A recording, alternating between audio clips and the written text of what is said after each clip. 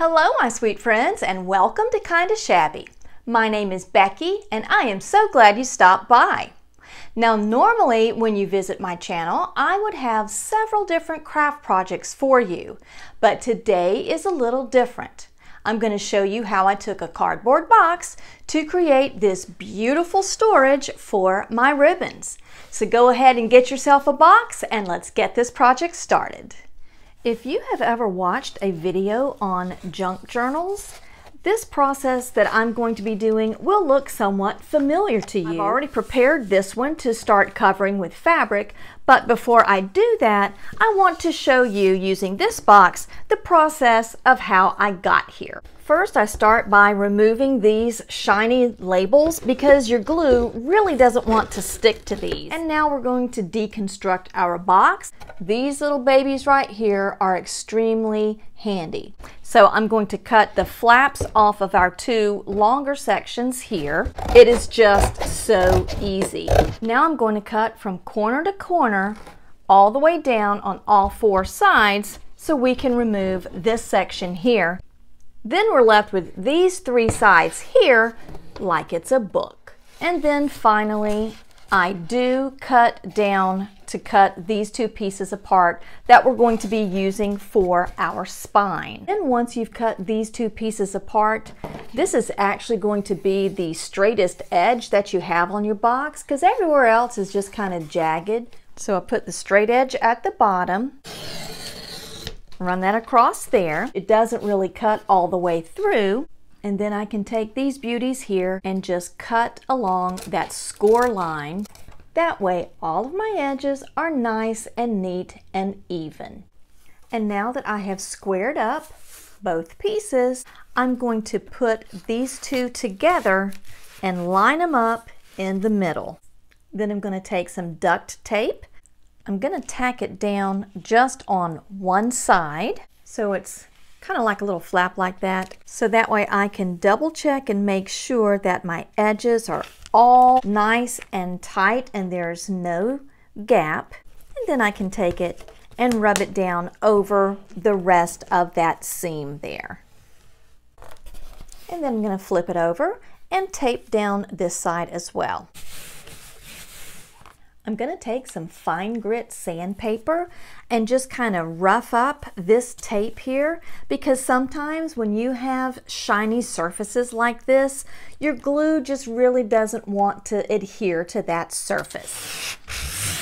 And I'm going to do that to both sides. So I'm going to be using this fabric for my first little ribbon book and I just love this.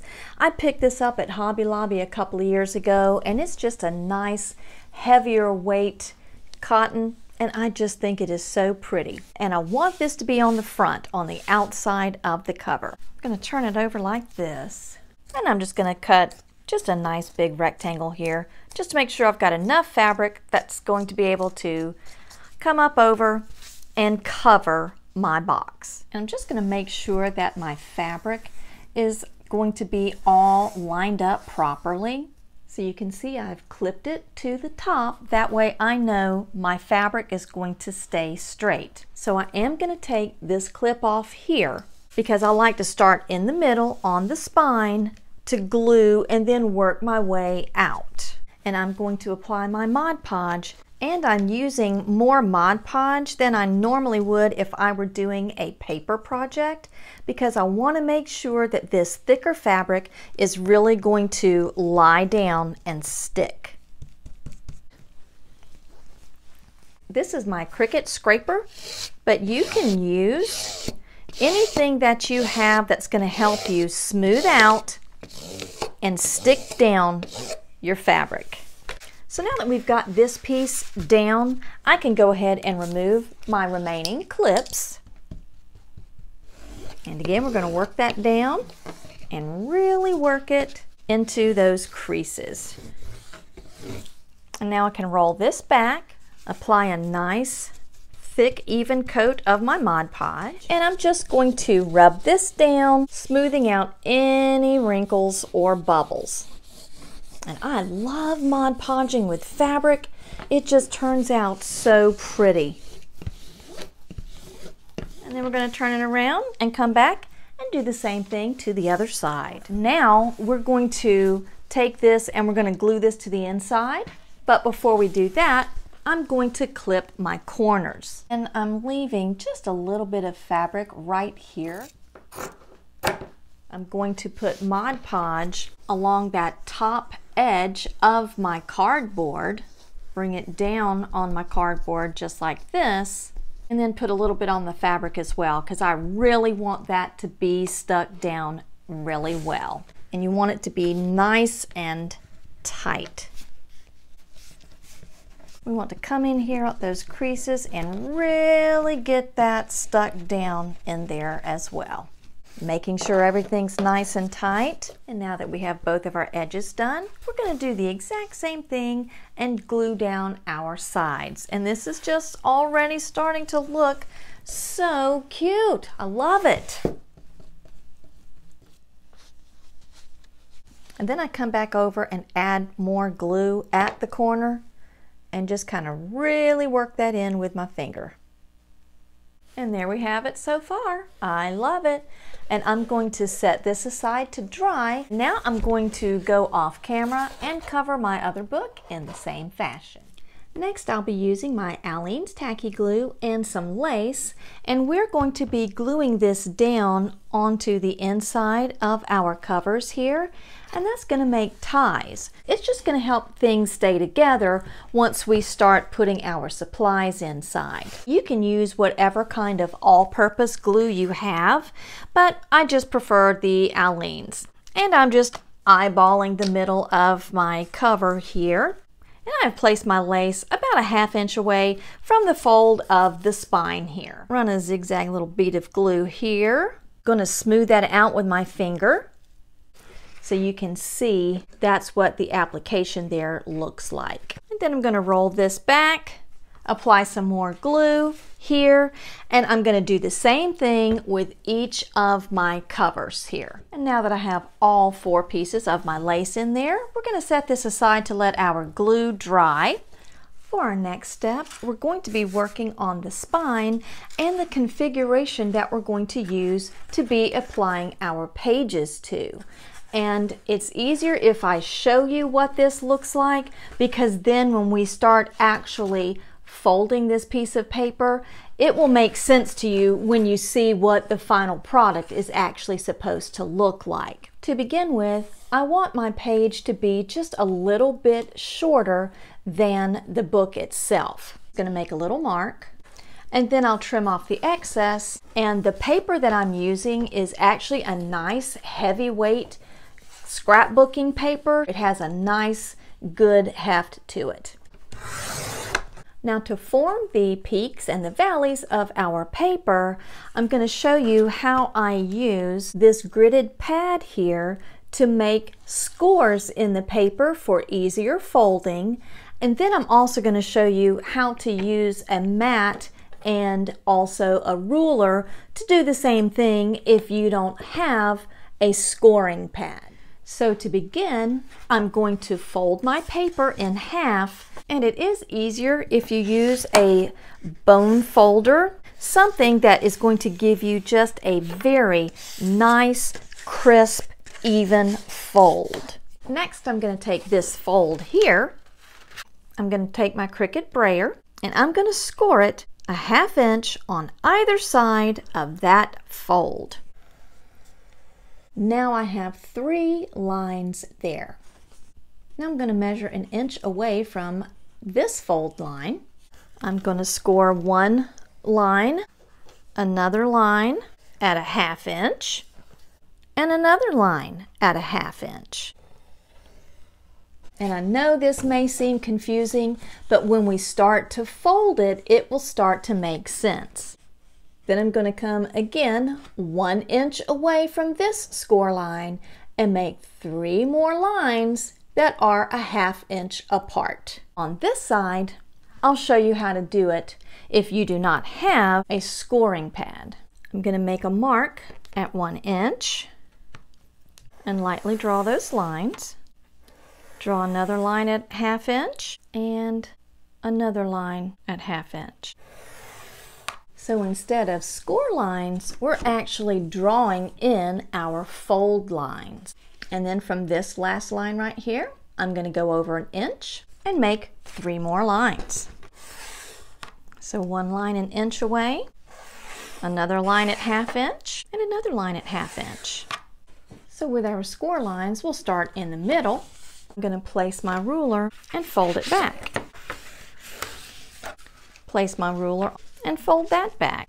So then that way we form our first mountain peak here. I've got my three score lines. The one in the middle is going to be the peak. So we can fold along the peak.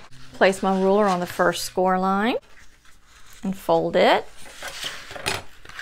And place my ruler on the other score line and fold it.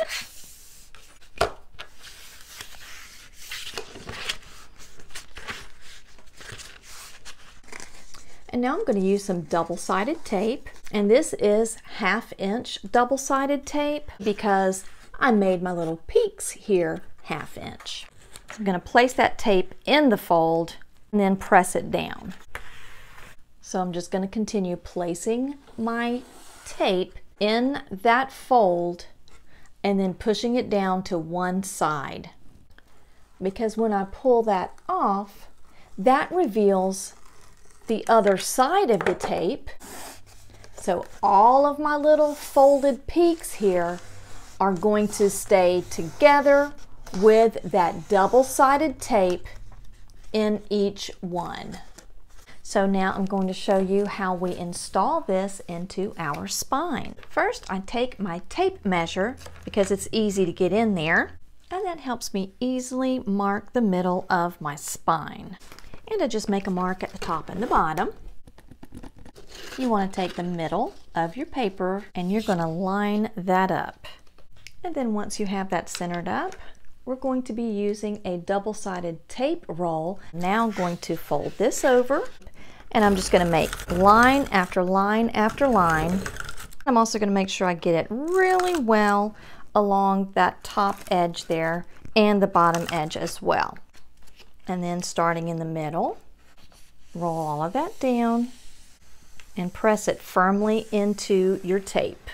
Roll the other half up and do the same thing with your tape. Again, we're going to start in the middle and just rub all of that down into our tape. Then I take my bone folder and push that tape into that seam And now I take a small brush and my Aleene's tacky glue. Anywhere that I see that that is not all the way down and adhered, I just rub my glue in there and then push that down. Because if this isn't down well, whatever you put on top of that isn't going to stick.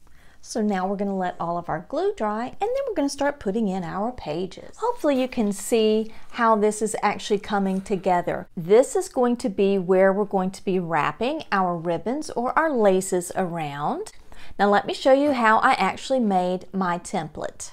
Remember our little peaks here on our pages are a half inch high so that's why I have this half inch section here at the bottom. And that is how we're going to be attaching them as well. I took an 8 by 10 inch piece of my poster board. So then on my 10 inch side, I marked a half inch up and a half inch in on both ends. And then I made my line on each side and we're going to cut these off.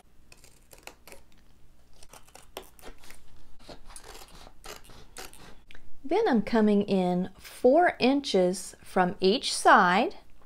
That leaves me a one inch space there. And I'm going to make a light line at the bottom here.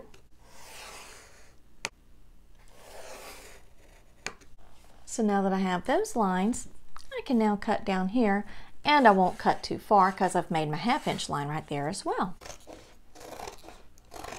And that is how I made my template. My poster board has like a shiny side and a dull matte side. And I am going to be putting these together, matte sides or dull paper sides together. And I'm going to use my tape roll, but I am leaving our half inch section at the bottom open for the time being. So I'm going to line my pieces up, take my tape roller, run that along the edge and along the top as well, and then one in the middle, and press that down to secure. Then come over here and do the same thing. So I'm going to go off camera and finish putting my pages together and then we'll get them put into our book. Once you put all your pieces together, you may have some areas that just kind of need to be trimmed off where they didn't quite meet up, and that is just fine. And this is just personal preference. This is a corner round, and instead of having those sharp edges just like that, insert my corner and that just gives it just a nice rounded edge. Now that my edges are all nice and round on there, we're going to take our open end here, just gently fold that back. Then I'm going to take some more of my half inch double-sided tape. I'm going to place it in the little channel there and press that down. Turn it over, take my tape, and again set that down in our little channel press that in. So we're going to take our paper before we pull this off. It is going to set just like that over our little peak here that we've created in our paper. So I just want to kind of line it up to make sure it's going to be even with the one below it. Remove that paper to reveal the other side of the tape and press it down. Then we're going to come over here and we're going to remove this paper and then press that down.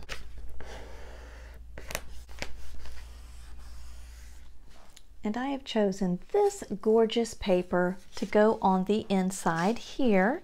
And that's just going to finish this off so beautifully.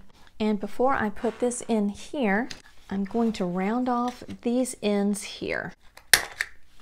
And it's just personal preference.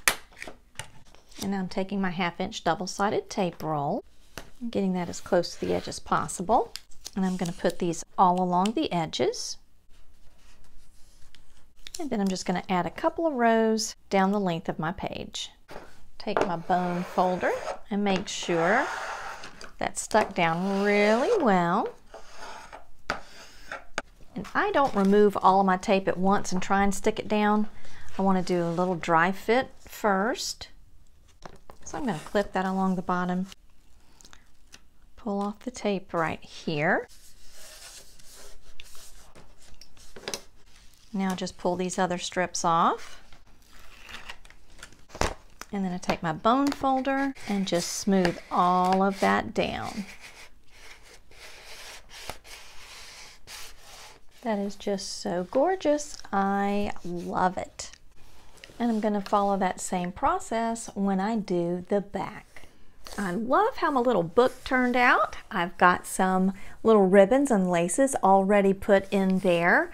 And I was able to take this entire box of this ribbon and lace and add it to my little book here. And I know that this is a lot of work and this isn't for everyone, but I am so pleased with how this turned out. And I still have more ribbon that I am going to be putting into this book. And then I also have the other book that I'm going to be completing. I haven't put the pages in that one yet. And I just really enjoyed this little project and I hope you did too.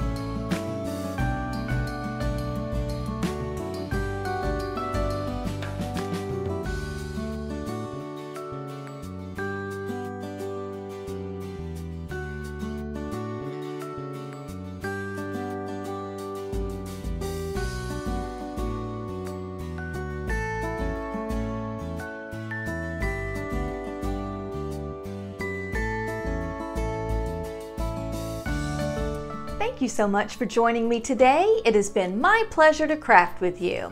I am always looking for cute ways to store my craft supplies and I am just really pleased with how my little book turned out. Please remember to subscribe for more kinda shabby but always chic crafty inspirations. And until next time, my sweet friends, be blessed.